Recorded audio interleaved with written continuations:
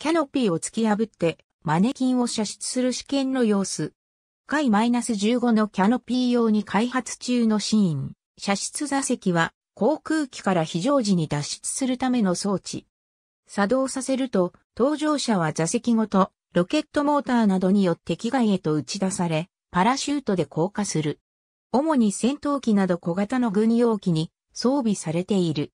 射出時には搭乗者に人間の耐久限界を超える 15G20、G 程度の加速度がかかるため、訓練経験がないと、脊椎損傷の危険がある。マーチン・ベーカー社の射出座席航空機が開発された初期の頃から第二次世界大戦の頃までは、航空機の速度は比較的低速であり、脱出はそれほど困難ではなかった。そのため、射出座席はほとんど使用されず、脱出はパラシュートを搭乗前にあらかじめ装備しておき、脱出時は自力でコックピットから飛び降りる方式がほとんどであった。しかし、このような脱出方法だと、コックピットから飛び出した後に、時期の尾翼にぶつかる可能性があり、実際にそのような事故が多発したため、第二次大戦中のドイツの一部の航空機には、圧縮空気で打ち出すタイプの射出座席が装備されていた。世界初の射出座席搭載機は、ドイツの HE280V1 である。射出座席を本格的に実用化したのは、イギリスのマーチン・ベーカーエアクラフト社で、第二次大戦中から開発を行っていた。マーチン・ベーカー社が開発をしていた射出座席は、ドイツが採用していた圧縮空気より力のある火薬式のものだった。マーチン・ベーカー社は現在でも射出座席の代表的メーカーの一つである。射出座席が一般的に使用されるようになったのは、航空機がレシプロ機からジェット機になり急激に高速化した第二次大戦後である。空気抵抗は速度の事情に比例するため、速度が2倍になった場合、体が受ける抵抗は4倍にもなる。そうなると機体から自力で脱出するのは非常に困難であるため、射出座席が装備されるようになった。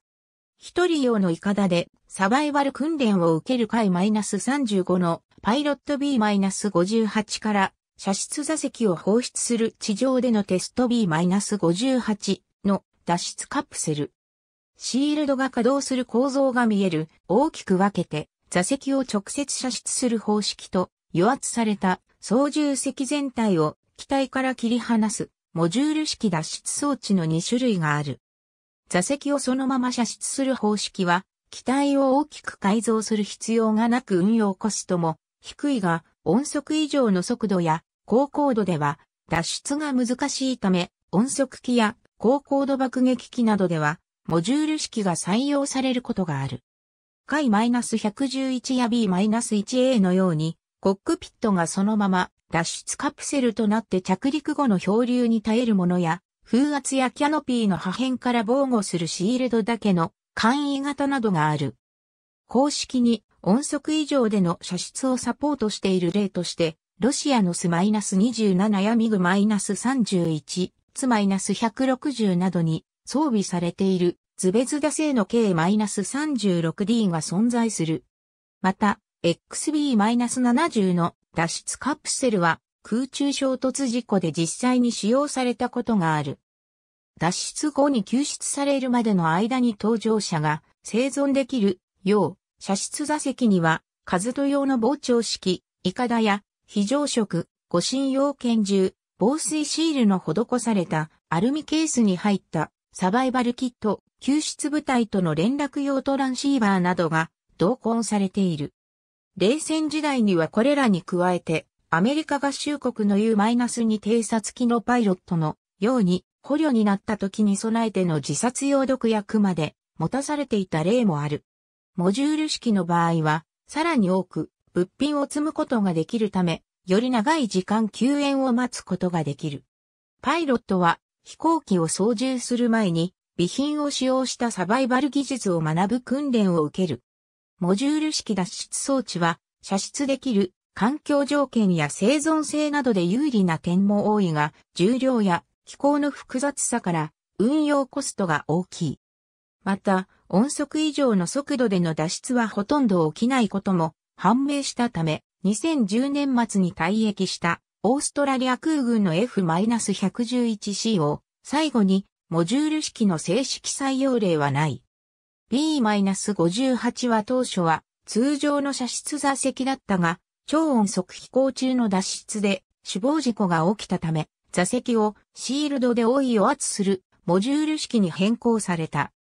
小型であり内部は非常に狭いものの衝撃吸収用のエアバッグや着水時に作動するフローティングシステム、水や食料を備えシェルターの役目も果たすなど意欲的な設計であったが、当初から問題視されていた開発費の増大に拍車をかけることとなった。海 -104A の初期型のように下方に向かって射出する方式もあったが、低空飛行時の脱出は不可能であり、安全性の目安にされる00射出もできないため、現在では採用されていない。現在の射出座席は、主に戦闘機など小型の航空機を中心として使用されているが、ヘリコプターに射出座席を搭載する計画もあった。しかし、ほとんどのヘリコプターは射出の際にメインローターが干渉してしまう関係上搭載されず、射出座席が装備された機体は、ロシアのカモフ設計局が開発したかマイナス50かマイナス52などごくわずかしかない。かマイナス50では、脱出時に障害となるメインローターを火薬で吹き飛ばしてからい出される。ヘリコプターの場合、脱出装置が必要となるほど速度が速くないため、必要性が考慮されないという現実的理由もある。サンダーバーズ6番機の F-16 からの A せず、通射出座席による脱出。パイロットのストリックリン隊は無傷だった。先に吹き飛ばされたキャノピーと、続いてい出される座席が見える2003年9月14日、間補修、マウンテンホーム空軍基地における事故の際に、撮影現代の射出座席は大きく進化を遂げた。射出可能な速度域が広がり、高度0速度0の状態からでも、パラシュートが十分開く高度までパイロットを打ち上げる、00射出が可能な射出座席がほとんどとなっている。また、座席を打ち出すための推進装置として、火薬よりもパイロットにかかる G が小さいロケットモーターが多く使われている。脱出時にはキャノピーへの衝突を防ぐため、火薬を使ってハッチやキャノピーを丸ごと投棄したり、あるいはキャノピーにプリマコードを埋め込んでおき、グラスを細かく砕くようになっている。しかし、火薬よりかかる G が小さいと言っても、パイロットには15から 20G がかかるため、適切な姿勢をとっていない場合は脊柱を痛める、などの可能性がある。そのため、い出される直前に全身がシートベルトで拘束され適切な姿勢に強制されるようなものが多い。悪条件が重なった場合、先に投棄されたキャノピーに出されたパイロットが衝突する危険性やコックピット内に発生するロケットモーターの高温の噴出ガスでパイロットが火傷を負うこともある。このような危険性と取扱上の注意事項からアメリカ軍では戦闘機など射出座席を装備する航空機へ搭乗する人間には射出座席の訓練を終了し航空機搭乗員の資格を取得することを義務付けている。これは操縦も操作も行わず乗っているだけの人間であっても終了義務があるため訓練を受けていない観光客などが戦闘機に乗ることはできない。一方、ロシア連邦軍隊一部の国ではこの義務がないため、観光客が訓練なしに戦闘機に乗ることができる場合もある。また、射出後はパラシュート降下するため、当然パラシュートの操作ができることも要求される。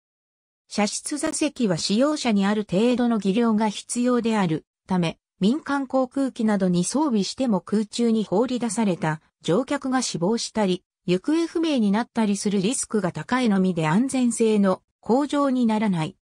まして海上では訓練を受けていない一般人が海にパラシュートで巻かれれば大半が行方不明になることは確実であり、航空機が不時着水する方がはるかに安全であることが明確であるため、民間の旅客機に射出座席やパラシュートは搭載されない。また、機体操縦を放棄することが前提となっているため、市街地での脱出や輸送機での使用は避けられる。戦場で脱出した場合、降下中に敵に銃撃される危険性もある。脱出後、水上に着水した場合でも、ハーネスに内蔵されたライフジャケットで最低限の浮力は得られる。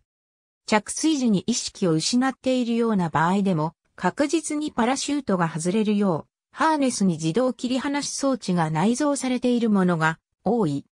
ただし、パラシュートの切り離しに失敗したり、パラシュートが搭乗員に被さるように落下してきた場合は、絡まったパラシュートに引き込まれるなどして溺死する場合もある。モジュール式の場合は、救援が来るまで雨風をしのぐ避難所として利用できる。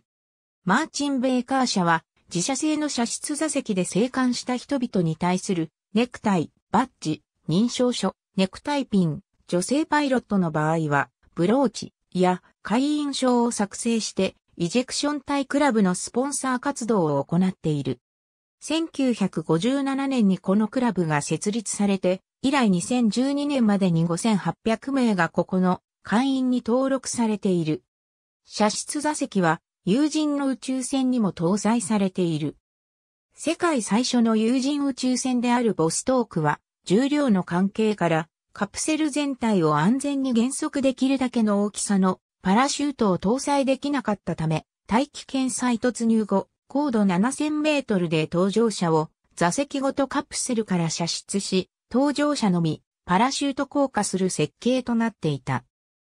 ボストーク1号で初の宇宙飛行を行ったユーリー・ガガーリンもこの方式で帰還したが、国際航空連盟による宇宙飛行の定義では、乗員が機体に搭乗したままで着地ないし着水することとされており、当初ソビエト連邦はガガーリンの宇宙飛行が定義に照らして認められないことを懸念し、射出座席が搭載されていることは語っていなかったが、宇宙飛行が認定されてからそれを使ったことを明らかにした。アメリカでは、ジェミニ宇宙船において、射出座席を装備しているが、これは大気圏内における非常脱出用である。やがて安全に着陸できるだけのパラシュートが搭載可能になると、射出座席は装備されなくなったが、後にスペースシャトルに再び搭載されることとなった。ただこれは試験飛行の期間に限定されて搭載されただけであり、正式な運用が開始されると実用性の低さや重量増や気候の複雑さから取り外されてしまっている。チャレンジャー号爆発事故では乗員が海面に激突するまで生存していた可能性があるとされ、再び射出座席などの緊急脱出装置の装備が検討されたが、機体の大幅な設計変更や乗員数の削減を要することから実現しなかった。なお、ソ連版スペースシャトルといえるブランには、射出座席が標準装備されていた。マーチン・ベーカー・エアクラフト・グッドリッチ・ミコヤン・グレーヴィチ設計局、ツポレフ設計局ヤコブレフ設計局、NPP ズベズダ現在でも、射出座席が装備されていない航空機では、この方式は未だ現役である代表例として、火災を起こした乗機からの脱出時に垂直尾翼にぶつかり死亡したアフリカの星ことハンス・ヨアヒム・マルセイユが挙げられる。横浜米軍機墜落事件や九州大学電算センターファントム墜落事故では、これが守られたとは言い難いパイロット最後の命綱、射出座席作り続け70年の老舗メーカー、7500人の命救う乗り物ニュース。2019年4月27日、閲覧。 Martin-Baker Ejection Tie Club、Martin-Baker、Retrieved、31 October 2012、ジェミニ。エンサイクロペディアアストロノタカ、2009年4月26日時点のオリジナルよりアーカイブ。2009年7月8日閲覧。カーウィン、ヨゼフ P、チャレンジャークルーコーズタイムオブです。2006年7月4日閲覧。ありがとうございます。